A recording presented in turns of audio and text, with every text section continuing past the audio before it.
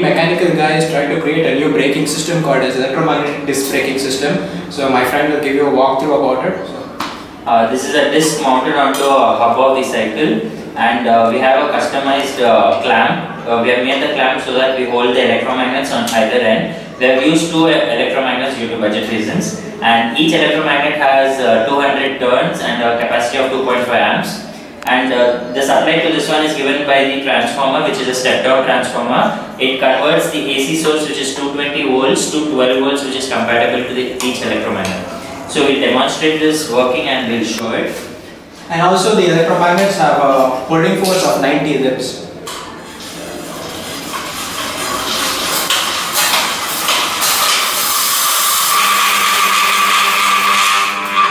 The disc has been stopped in around roughly 3 seconds, maximum of 3 seconds and we are using a uh, fan regulator to control the supply of uh, current to the electromagnets. Here I'll be simulating the pedaling motion of a cycle and this is how the braking works.